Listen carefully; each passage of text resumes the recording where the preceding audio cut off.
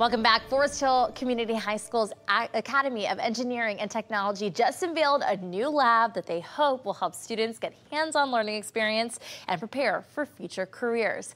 CBS 12's Amber Raub shares with us all the new tools that are available for our students.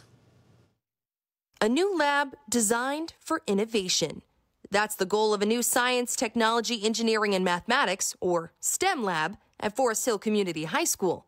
And students like Edgar are excited about the new lab, especially because it gives them more tools to explore their passion.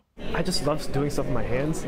And although engineering isn't exactly like that, I get to visualize and see a lot of things, how they work, all the things, all the thought behind them.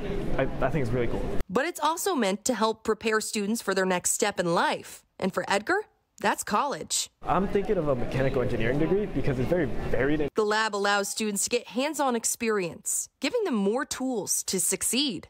We have like three new 3D printers incoming. We got like two of them already. We have a whole new like computer system. We have like a brand new computer lab.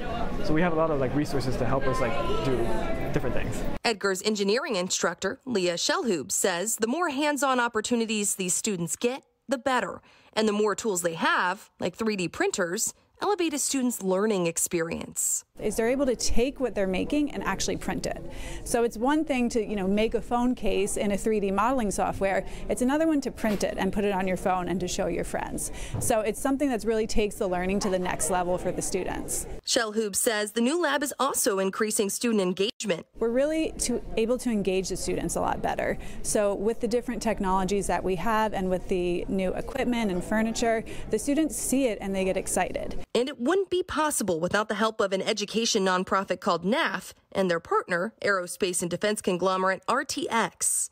NAF's CEO, Lisa Doogie, says seeing students come alive with excitement about their new tools is a critical reminder to invest in the future. The future leaders of our country are sitting in high school classrooms right now, so being a part of actually training them and being a part of their education and making sure that they get the skills and competencies that they need to be successful in their futures, there's no better investment. That was CBS 12's Amber Raub reporting. Through the school's Academy of Engineering Technology, students are also able to gain real-world hands-on experience in the form of internships.